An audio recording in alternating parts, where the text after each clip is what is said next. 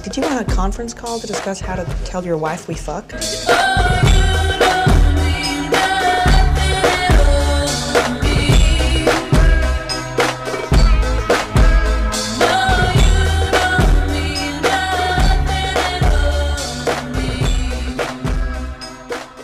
You're not good enough for me.